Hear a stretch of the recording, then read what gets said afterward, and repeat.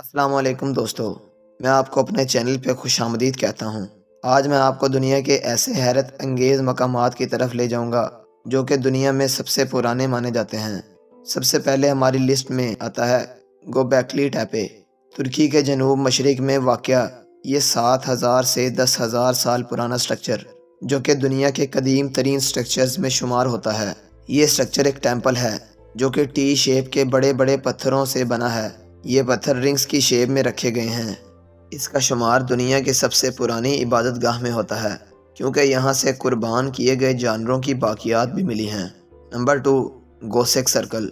ये जर्मनी के छोटे से कस्बे में वाक़ है।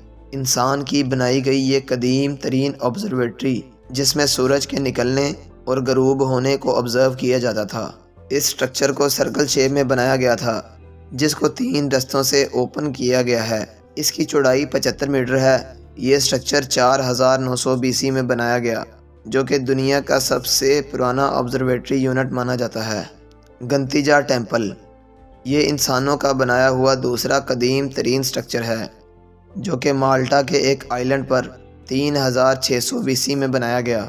ये एक टेंपल था, जो कि बड़े बड़े पत्थरों को जोड़कर बनाया गया था।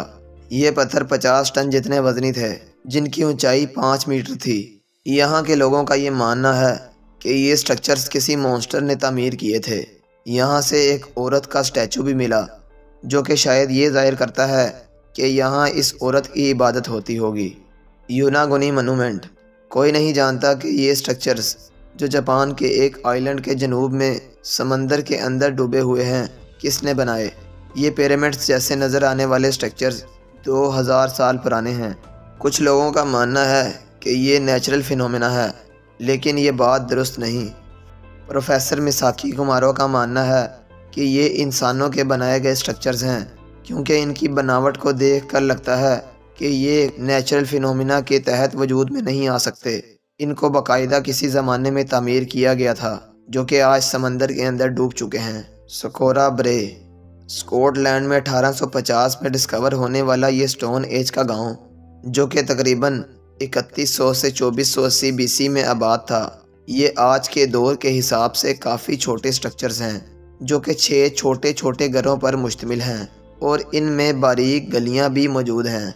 अंदर से ये घर काफ़ी मॉडर्न मालूम होते हैं, जिसमें पत्थर की दीवार पर क्ले को प्लस्टर किया गया है। इन घरों में किचन और बेड भी मौजूद है। ये पता नहीं लगाया जा सका कि यहाँ के रहने वालों ने क्यों इस जगह को अचानक छोड़ दिया। जिसकी वजह से ये घर खंडरात में बदल गए और मट्टी तले दब गए। तो ये थी आज की हमारी वीडियो। इस वीडियो के पार्ट टू के साथ इन जल्द ही मैं हाजिर होऊँगा। उम्मीद है आपको ये वीडियो अच्छी लगी होगी। मिलते हैं नेक्स्ट वीडियो में। अल्लाह हाफिज़।